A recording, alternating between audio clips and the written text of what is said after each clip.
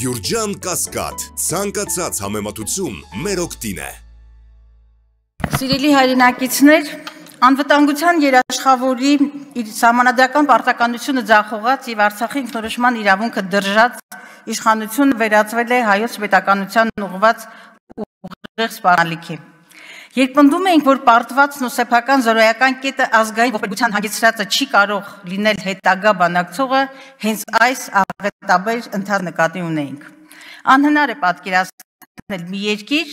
որի ղեկավարը ոչ միայն սեփական երկրի կադաստրի վկայական չունի, այլև երկրի թիվ 1 ամբիոնից սոփեստա փիլիսոփայական հարց է հնչեցնում, թե ինչ առասարակապեզը։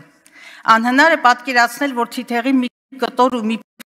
շուշ թափահալով կարելի է սեփական ժողովրդին վախեցնել պատերազմով եւ փորձել համոզել, թե դա է ճիշտ Հայաստանը։ Մենք ճշնամուն հանձնելիք հողեր ունենք։ Երբ պնդում էինք, որ պարտվածը չի կարող բանակցող լինել, նա նկատի ունեինք պարտվածի բարոյական ու քաղաքական լեգիտիմությունը, բանակցելու կարողությունները, արժեքաբանությունը, սեփական երկրի շահերը պաշտպանելու ունակությունը նաև պարտած բանակցողից հնարավոր ամեն բան կորզելու հակառակորդի ուժեղացած դիրքերը։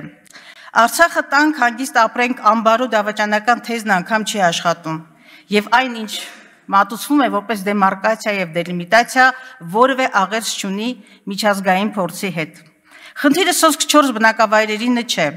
Հարցականի տակ է դրվում Հայաստանի ողջ անվտանգային համակարգը։ Աքսիոմատիկ է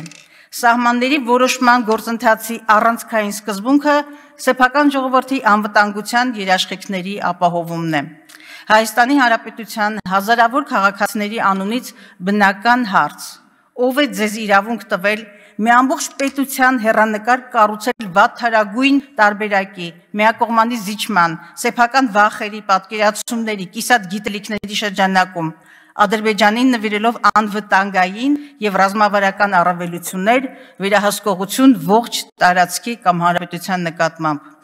Ինչու չհիմնվել միջազգային նորմերի, այդ թվում ԵՀԿ 2017 թվականի սահմանազատում եւ սահմանագծում լուծումներ երաշխավորության վրա, որը հատկապես հետխորհրդային երկրների համար սահմանազատման հստակ մեթոդաբանություն եւ սկզբունքներ է սահմանում մասնավորապես ապա սահմանը չի կարող լինել հետագա անկայունության եւ կոնֆլիկտի աղբյուր այն չպիտի խաթարի ազգաբնակչության բնական կենսագործունեությունը եւ նրա հիմնարար իրավունքները Առանց մեթոդաբանությունը ճշտելու, իդեպ փոխ վարչապետը ասում էր, որ նոր են ճշտելու մեթոդաբանությունը, առանց մեթոդաբանությունը ճշտելու ինչպես կարելի է հատվածական սահմանազատում իրականացնել, երբ թշնամի ոչ միայն դուրս չի եկել օկուպացված Հայաստանի Հանրապետության տարածքներից, այլև ամրակայման աշխատանքներ է իրականացնում։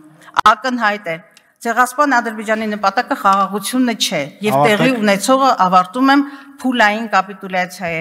մի դարձեք նպատերազմի եւ ապագա պարտության հրահրող։ Ամեն Ռուստամյան համեցեք խնդրեմ։ Տեսելու ձեր ձախողումները։